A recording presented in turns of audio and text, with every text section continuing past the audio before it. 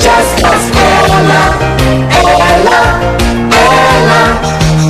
Is there no one to talk to to share something amusing? Why not ask Ella? She'll have the solution. I open up the paper and flip through all the pages.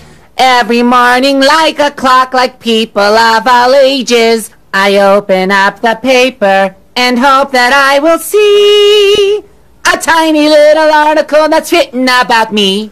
If you want to see yourself in the news, then read Ella's newspaper, the paper where you pick all the stories. Look, the paper says yesterday Dizzy went flying. Huh? And that last night Dizzy dreamt about a lion. Dizzy said that he sings much better than Billy?